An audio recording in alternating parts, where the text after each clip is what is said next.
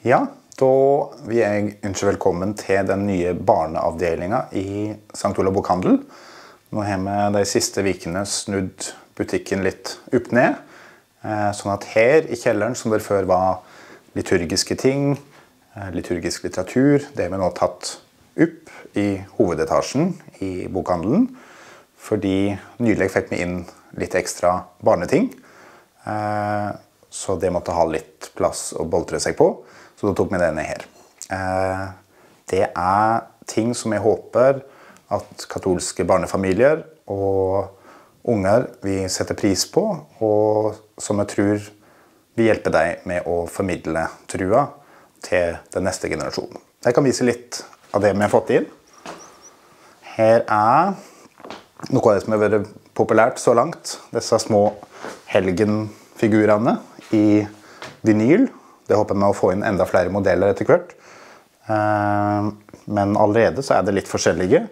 Som eh, enten kan være en helgen som familien ønsker å eh, til ungen sin. En devosjon til en spesiell helgen. Eller den helgen som ungen er oppkalt etter. Så det har vært veldig populære. Og kan bli et sånn lite samleobjekt òg, for de som vil ha det. Her er forskjellige dukker.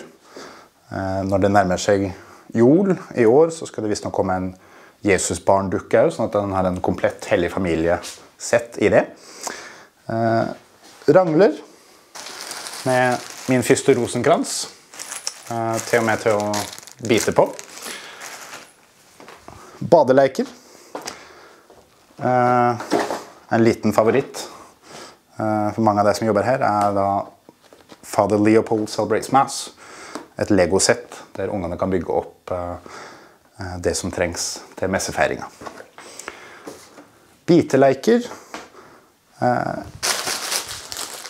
skinntøfler med Kiro-symbol til de minste. Og en annen liten favoritt. Smekker til den lille gutten med prestesnipp. Og til den vesle jenta eh, med Teresa Calcutta-mønsteret på ordensdrakta.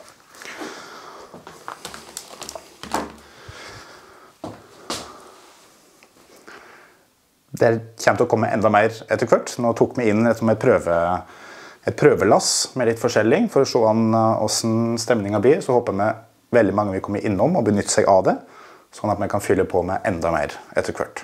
Så hjertelig velkomne skal du være.